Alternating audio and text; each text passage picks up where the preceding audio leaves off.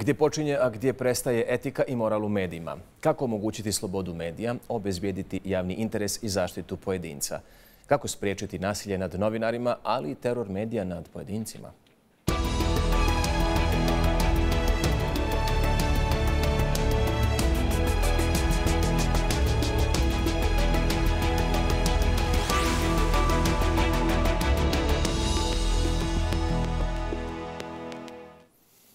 Počinje kontekst i pozdrav, ja sam Saša Delić. Osnovni sud u Podgorici prihvatio je zahtjev Vrhovnog državnog tužilaštva i privremeno zabranio distribuciju objavljivanja spornih tekstova u dnevnom listu Informer. Taj je list u deset brojeva objavljivao tekstove i fotografije neprimjerenog sadržaja, na kojima je tvrde direktorka mreže za afirmaciju nevladinog sektora u Crnoj Gori, Vanja Ćalović. U Mansu ističu da je riječ o brutalnom napadu na njihovu direktorku. U Informeru smatruju da nisu prekršili zakon, a javnost u regionu se pita gdje su granice profesionalnih i civilizacijskih standarda, novinarske etike i kodeksa.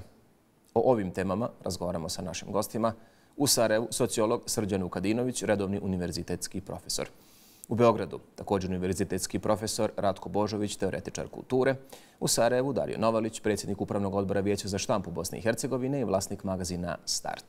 Gospodo, dobrodošli u kontekst. Gospodine Vukadinoviću, najprije Šta biste rekli o pisanju lista koji na naslovnoj stranici objavio ovakve fotografije?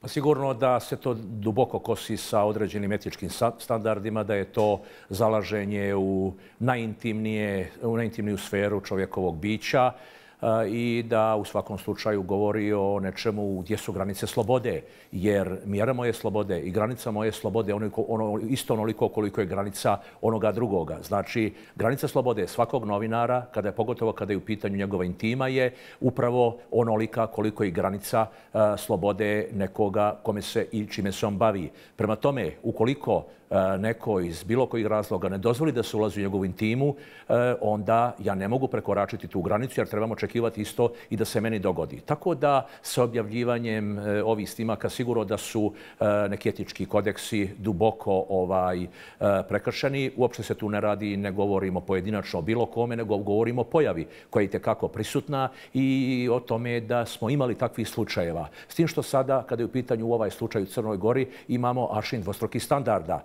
E, na isti način prije par mjeseci e, jedan visoki državni funkcioner objavljen u donjem vešu na naslovnoj strani jedne druge strane. Očito da takva odjeća nije primjerena ni jednoj naslovnici e, ni novinama, nego da je to stvar neke intime. Ali tada se nije reagovalo na ovakav način. Prema tome, da bi uspjeli da se izborimo za određene etičke standarde, za određene etičke norme, sigurno da moramo da imamo nekakve standarde koje počivaju na sistemu vrijednosti, nažalost, u našem društvu je sistem vrijednosti jako dugo uručen. Još ćemo kasnije razgovarati nešto više Još nešto, samo što sam htio u početku što ste rekli, e, opštinski sud jeste zabranio sadržaje, ali koji su već objavljeni. Šta je sa time urađeno? Ništa. Ti su sadržaji već objavljeni prije 15, 20 ili već koliko dana. Znači, on je zabranio nešto što je izašlo, što su već čitaoci ovaj, mogli da pročitaju, djeca mogla da vide i da određene traumatične situacije dožive zbog toga. Tako da u svakom slučaju ovdje se radi i, i određenom nemiješanju državnih institucija u svoj posao. Da. Evo, nakon serije spornih članaka oglasila se i sama Vanja Čalović, pa da poslušamo što je rekla. Učujem osobama koje se inspirišu na takvim bolesnim sajtovima i njihovim šefovima koji naređuju i podmeću ovakve gadosti.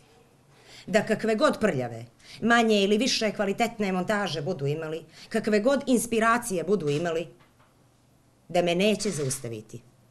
Da ću ja raditi ovaj posao dok živim i dišem. Čuli smo što kažu. Gospodin Novliću, šta biste vi rekli? Da li se ovdje može govoriti o zastrašivanju gospođe Čalović? Kako biste uopšte ocijenili e, pisanje ovoga lista u konkretnom slučaju? U konkretnom slučaju vrlo odvratna naslovna strana koja graniči u stvari koja jeste pornografija. Ja bi ovom prilikom napomenuo ono što je vlasnik informira rekao u trenutku kada je iz Srbije e, najavljivao izdanje za Crnu Goru.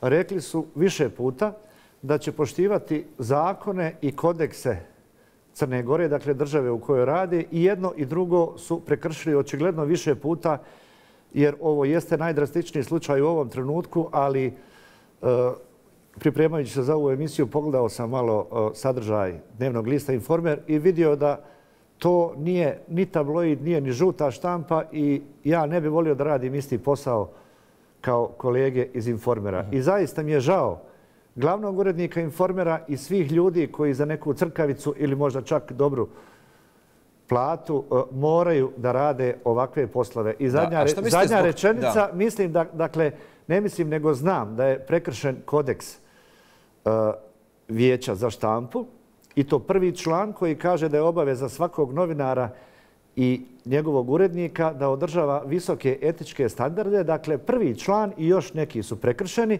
a prekršen je zakon, jer kao što znamo, distribucija pornografskog materijala je zakonom zabranjena. I ovom prilikom, mada zakašnjelo, ipak čestitam sudu Crnoj Gori u Podgorici, koji je za relativno kratko vrijeme uspio makar tu mjeru izreći da zaustavi distribuciju takve vrste materijala. A šta mislite, zbog čega su to uradili i prekršili niz kodeksa koje ste pisali?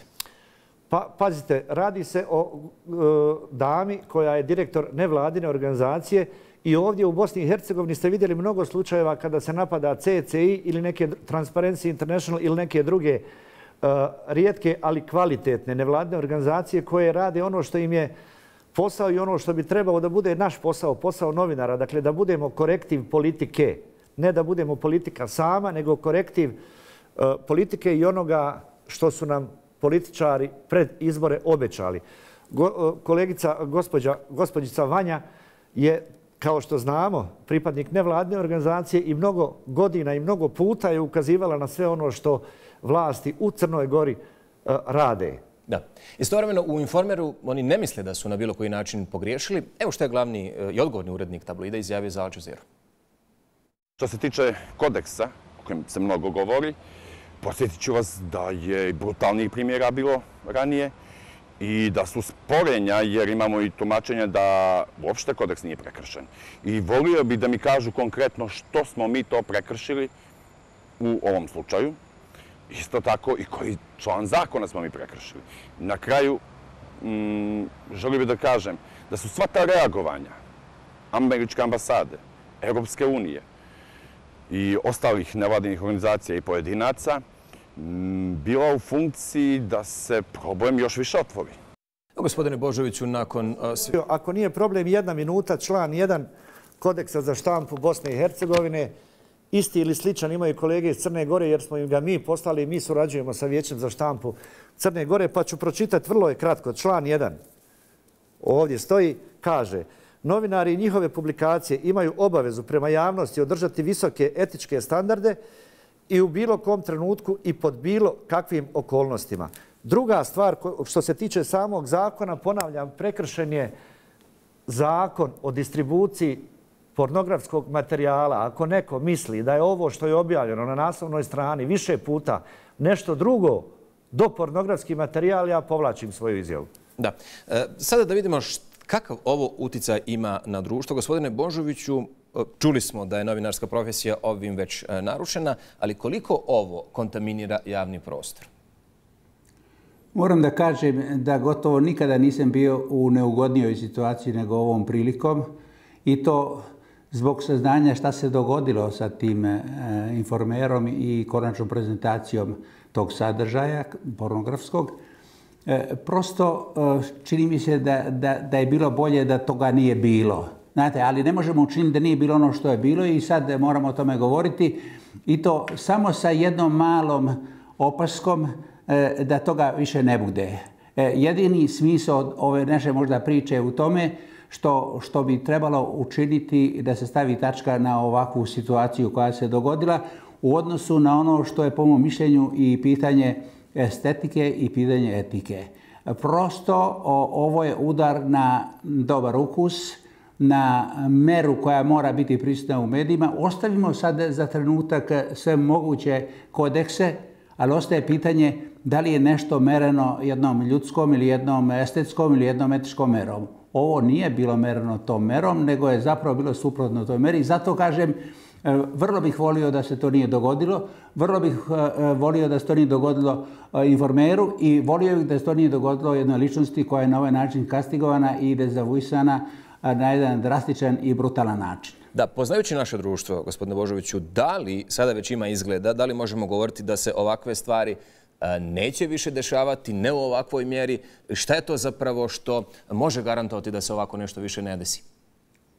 Pa mislim da sama javnost mora ovome se, ovome se odredi na načine e, potpune e, transparentnosti. Dakle, mora se reći šta to jeste. Ne možemo se više skrivati iza motiva koji su bili e, tamo da se ovo objavi ili konačno da se objavi pre nego što se proveri ko je u pitanju i tako dalje. Neću o tome da govorim, prosto ja tu stvar ne znam do kraja i ne bih želio da, da budem jedan od onih koji priča o, o čitavoj toj stvari na način e, da znam e, pozadnju motiv, motive, razloga i tako dalje. Ali znam samo da je ta slika i prilika neadekvatna i da ona u istom smislu o, o, u traganju za senzacionalizmom. Govorimo o tome što je u nas prisutno.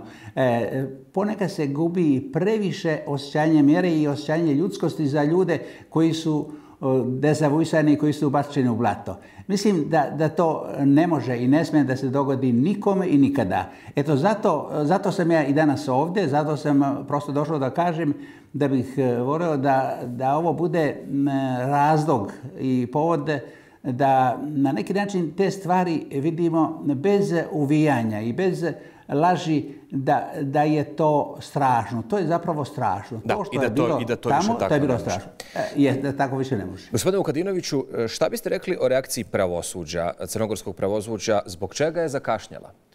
E, pa u svakom slučaju da je ona zakašnjela i stiče se nekakav utisak da ona nema sada nekog efekta. Jer, kao što sam rekao, zabranjeni su brojevi koji su već objavljeni, koji su više nisu ni bili u opticaju, koji više nisu ni bili na tržištu. E, ljudi su došli do toga, vidjeli su te sadržaje, tako da e, u svakom slučaju to je nešto što ne ide na ruku pravosuđu, jer se faktički ni on, ni pravosuđe, ni tužilaštvo, ni vjerovatno organi MUPA koji imaju te službe da bi ta vještačenja napravili za sve montaža ili ne montaža ili sve drugo, e, jednostavno ne uključuju u svoj posao na jedan efikasan e, i način koji bi trebao da rezultira nečim da se više ovako nešto ne ponavlja, da se e, ljudi zato što su kritični raspoloženi prema javnosti targetiraju kao nekakve mete, izvlači im se nešto iz privatnog života što je stvar njihove intime. Ima takvih slučajeva jako puno bilo, ovo je nekako posto, bio vrh ledenog brijega upravo zbog te fotografije koja je tako bila i koja jeste na neki način zaista traumatično djelovala na djecu, na mlade ljude koji će se onda zapitati šta je to i gdje se to ide, mada to je neka različitost koju u svakom slučaju treba uvažavati. U svakom slučaju e, državni organi moraju efikasno da reaguju, mada e, i tu postoji jedan problem. U Crnoj Gori je donijet zakon o dekriminalizaciji klevete. Upravo sada e, ovi ljudi koji su predmet napada i koji su zagovornici da je ovo nešto što se kosi s etičkim standardima, oni su bili glavni zagovornici toga i onda su na neki način ruke tužilaštva tužilaštvu i svezane, možemo reći s druge strane, jer e, e, kleveta je dekriminalizovana i vi nekoga za javnu riječ ili za javno mišljenje ne možete tužiti. Druga su stvar određeni pornografski sadržaji, e, sadržaji koji nemaju ni minimum nekog dobrog ukuza, ukusa, što je jako bitno za jedno kulturološko određenje i za stil života i način života koji je i tekako bitan i koji je potreban da se razvija u ovom vremenu. Prema tome, po meni, na ovome će se sve završiti, jer očito se neće tu, sad rekli smo da nećemo o pojedinačnim slučajima nisu bitni. Pojava je bitnija e, jer prestalo se sa tim objavljivanjem, više se to ne objavljuje, tamo su neke zatamljene, zatamljeni dijelovi gdje treba ta fotografija da, bude, da, da, da, se, da se nalazi, jer i formiramo namjeru, namjeru stalno da to objavljuje, ali posle ove presude to je e, zaustavljeno i to je u neku ruku, može se reći,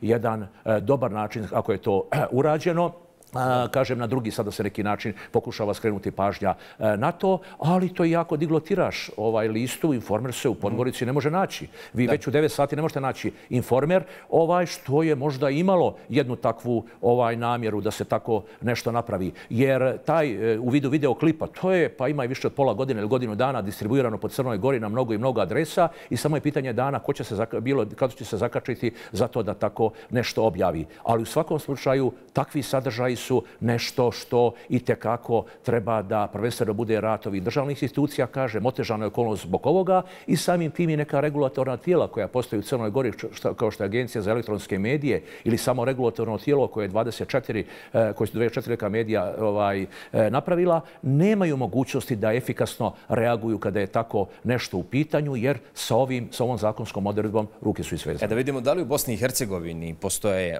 adekvatne i zakonske odredbe i tijela koja mogu ovakve pojave da e, spriječe. Gospodine Novaliću. Od prilike je situacija vrlo slična kao u Crnoj Gori, Srbiji. Crnoj Gori dekriminalizirana je kleveta.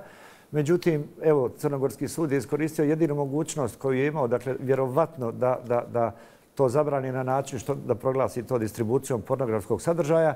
Što se tiče e, printanih i online medija, e, Vijeće za štampu Bosni i Hercegovini pokušava da na najbolji način uradi ovaj dio posla. Ali kad bi se desio konkretan slučaj kao što je ovaj, bojim se da bismo morali mnogo duže nego kolege u Crnoj Gori čekati da sud donese bilo kakvu odluku ove vrste. Ja sam rekao da je sud uradio dobru stvar za kratko vrijeme, e, misleći pritom na sve ono što bi se moglo dogoditi u Bosni i Hercegovini. Kod nas bi ta eventualna odluka definitivno, e, poznavajući rad sudova, trajala mnogo, mnogo, mnogo duže. Ne, bilo bi onda komplikovanije nego što je to bilo mnogo, u, mnogo komplikovanije. u Crnoj Gori. Ali e, šta biste vi rekli ovdje o motivu? E, da li, je, da li bi tiraž mogao biti nešto što je osnovni motiv iza ovoga? Pazite, ja s ovim poslom bavim 30 godina. Radio sam u prvom ju tabloidu. Oni bi, ovi ljudi iz Informera bi željeli da budu tabloid, uh, žuta štampa ili kako li oni to već, već zovu. Dakle, radio sam prije 30 godina, bio je to prvi moj posao, u prvom ju tabloidu ASU, koji je štampan u jednom trenutku tiražu većem od 450.000 primjeraka i dakle tu već možemo govoriti o nekoj zaradi po informacijama koje sam dobio iz Crne Gore, po broju stanovnika i broju dnevnih novina u Crnoj Gori, moram vam reći da nijedna dnevna novina ne može, nema nikakvih šansi da opstane isključivo od prodatog tiraža. Ostatak, dobit od prodatog primjerka i u Crnoj Gori i u Bosni i Hercegovini je nekih desetak posto od cijene. Znači, nemoguće je makoliko da li to bilo hiljada, dvije, tri ili četiri, a siguran sam da veća prodaja nije, da bi se od prodatog tiraža niti ova, niti bilo koja novina u okruženju i u svijetu mogla održati. Dakle, taj neko ko plaća u takvoj novini e, marketing, odnosno reklame, tako se može održati e, bilo koja novina, pa i dnevna. Ovi ljudi iz Informera se hvale da su u prošloj godini u Srbiji imali zaradu od 522.000 eura na godišnjem nivou, da su u ovaj Informer želeli uložiti nekih 100.000 eura. Ja se zaista pitam i to će biti jako zanimljivo nakon ovakvog uh, ovoga, hajmo reći, povećanja, povećanja tiraža, u što vjerujem. Uh, jako bi volio vidjeti firme koje će objaviti svoje oglase u Da, vidjet ćemo to. Informer. To bi bilo zanimljivo. Evo da vidimo dalje. Gospodine Božoviću, kako danas uopšte odbraniti interes javnosti? Ima pravo na informacije i na informisanje, ali i etiku E, pri e, izvještavanju, ali i zaštititi pojedince? E pa to jeste suštinsko pitanje. E, pravo na privatnost. Privatnost je izgleda redukovana jer je ona probušena. Ona je na neki način našla se od jedan put malo više i mnogo više e, u polju javnosti. I sad imamo jednu disharmoniju između javnosti i privatnosti. E, to je jedna e, i globalna tendencija, moram reći, ali ostaje pitanje gdje je došlo do te e, maksimalne zloupotrebe. Ostaje pitanje, dakle, e, e, brige, ajte da kažemo, javnog mjenja za ljude iz javnog polja, dakle, koji su važni za, za ono što je društveni život, politički život i tako dalje. Ali e, ja mislim da, da tu ostaje pitanje kako odbraniti intimu ljudi i privatnost ljudi nezavisno od toga da li su oni u političkoj ravni, u društvenom eh, nekakvom angažmanu, u nevladnom angažmanu ili su u najobičnije eh, ličnosti koje, koje žive svoje male svakodnevne živote. Znači, mi imamo u stvari nešto što je jedna tendencija koja je prisutna, čini mi se, i u svetskim razmanama, ali je ovdje, e, meni se čini, u društvu koje ima neke anomične karakteristike u kome vlada haos, nasilje, bezakonje, dobila dramatične ishodišne tačke. E, to što e, na neki način senzacionalizam hoće na neki način da tržišno se odredi i samo odredi, E, govori o tome da tu imamo probleme sa moralnim odnosom, sa stavom, sa time šta možemo i šta smemo učiniti drugom čovjeku, da pritom nismo izgubili meru u onome što je, e, ako ćete, moralna dimenzija tog odnosa. E, tu je, čini mi se, e, ovdje kod nas taj problem drastičan. Ja sam inače u drugim nekim situacijama skretao pažnju da, da u medijima čitavo polje nasilja, perverzija, E, prekoračenja, normalnosti i onog što bi bilo u skladu sa jednom harmonijom ili ljudski osmišljenim životom je doveden u pitanje samo zbog toga da imamo konačno one koje kupuju koji kupuju te novine, jer su prvo navučeni na to da je rđava vest najbolja vest, da je perverzija ono što je provokativno i imamo u stvari jedan veliki košmar, ali košmar u sistemu vrednosti. E, znači, znači, mediji. Mediji u nas e, e, su zapravo problematični sa stanovišta forsiranja baš nasilja, svih vrsta nasilja po tome što mi imamo i društvo koje je u velikoj meri u znaku nasilja. I tu se više, pazite, tu se više ne može e, vidjeti normalna situacija društvo i mediji tu sami mediji edukuju samo nasilje. Odnosno, čine da nasilje bude prisutnije nego što bi bilo normalno kad bi došlo do pacifikacije tog nasilja ili kad bi se ono normalno sa merom na neki način ne pretvorilo u informaciju. Ovdje je važna ta komunikacija, nije važna informacija, nije važno šta je istina, nego važno je da se od toga napravi afera i da se napravi drama, dramatična potreba da se to kupuje. Da. E, gospodinu Kadinoviću, šta vi kažete svojim studentima? E, kako s jedne strane da se omogući sloboda medija, a s druge strane da se ispuni nešto što je javni interes za nekom informacijom i da se održi dostojanstvo.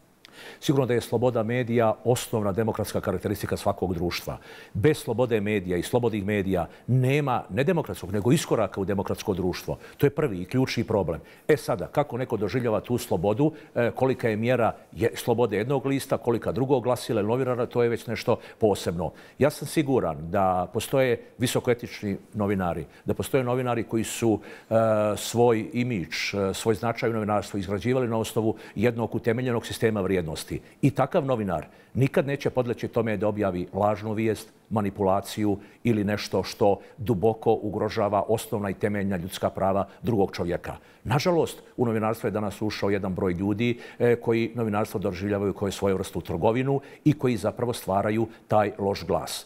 To je razlog. Mi danas nemamo više javno mnjenje. Mi imamo više javnih mnjenja. Jedno mnjenje e, formira jedna partija, drugo druga, nije bitno ali opoziciona, poziciona, treće civilni sektor, četvrto nekakvi tajkuni. Dakle, običan građanin se veoma teško snalazi u tom konglomeratu svega i svačega, a najcrnije je to što je to jedan vakum u sistemu vrijednosti. Taj vakum traje jako dugo i u taj vakum može da uđe sve i svašta. Koliko ovo seže do političara i onih koji vode države? Pa u svakom slučaju da seše, jer mi danas nemamo nezavisnog medija. Vidimo da se vodi e, velika rasprava o tome šta su i ko su nezavisni mediji. Možda mediji može biti nezavistan kada je u pitanju opozicija ili pozicija, da, ali e, očito on zavisi od nekog novca, on očito zavisi od nekoga ko ulaže u njega. Nije bitno li to štampani ili elektronski ili neki takozvani od ovih novih medija. Znači, svi su mediji određenom stepenu zavisni. Samo je pitanje koliko se ispoljava taj stepen zavisnosti i koliko oni etični novinari, visokoetični novinari, visokomoralni novinari koji sam rekao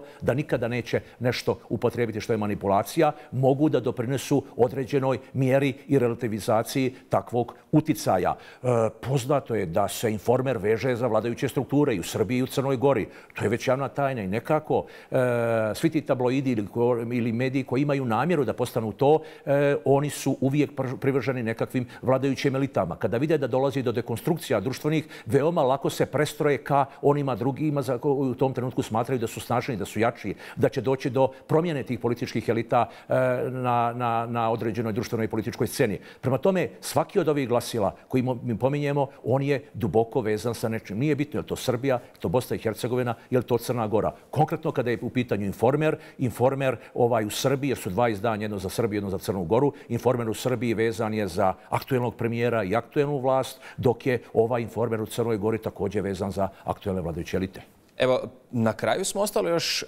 malo vremena, gospodine Novaliću, da vidimo kako je to ovdje u poređenju sa e, zapadnim zemljama u zapadnoj Evropi. Podsjetit ću da je u Velikoj Britaniji nedavno ugašen News of the World zbog velike afere e, prisluškivanja. Osuđen je nedavno i njihov e, e, glavni urednik nekada. Koliko se sve ovo što smo ovdje vidjeli zapravo razliku od onoga tamo ili ipak ima e, mnogo sličnosti?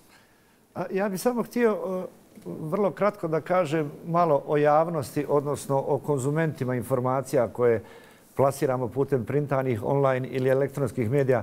Znači, kao javnost treba i mora da poradi sama na sebi, odnosno da svojim izborom onoga što će gledati i čitati e, odredi šta želi da zna i koliko jednoj, e, jednom problemu treba da zna. Znači, kao što ne želimo unositi smeće od hrane u sebe, tako kao što vodimo računa koliko bjelančevina, koliko soli, ulja, šećera unosimo u sebe, isto tako treba u ovoj najezdi A raznih kanala.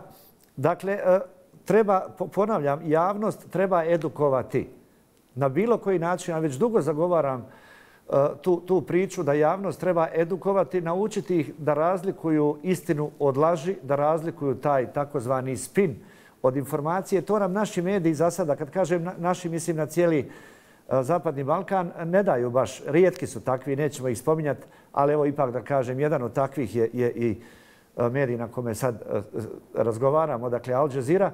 Mene zanima, mene kao čitaoca, gledaoca, zanima informacija. A dopustite da sam dovoljno pametan ili nepametan da ja obradim, rafiniram i vidim, zaključim nešto o toj informaciji mi dobivamo komentara više nego informacija u svim mogućim medijima. Zbog toga je potrebno edukovati čitaoce, slušaoce, gledaoce i objasniti im, u stvari sami će oni vidjeti koji medij jeste za njih, koji nije za njih, koji može služiti za popodnevnu zabavu, A isto tako, koji je to medij u kome se, kome se može vjerovati Evo, da se vrati na... upravo e, isteklo, e, moramo ovdje sad završiti. E, hvala vam lijepo, upravo ćemo u tom tonu, nadam se da ćemo i ovom emisijom nešto da uspijemo u toj edukaciji. Hvala vam još jednom što ste bili gosti konteksta. Dakle, u Sarajevu sociolog Srđan Vukadinović, redovni univerzitetski profesor, u Beogradu profesor Ratko Božović, teoretičar kulture i u Sarajevu Dario Novalić, predsjednik Upravnog odbora Vijeća za štampu Bosne i Hercegovine. A ovu emisiju, poštovani gledalci, uvijek možete pronaći na portalu aljazeera.net kosa crta Balkans. Hvala vam na pašnje.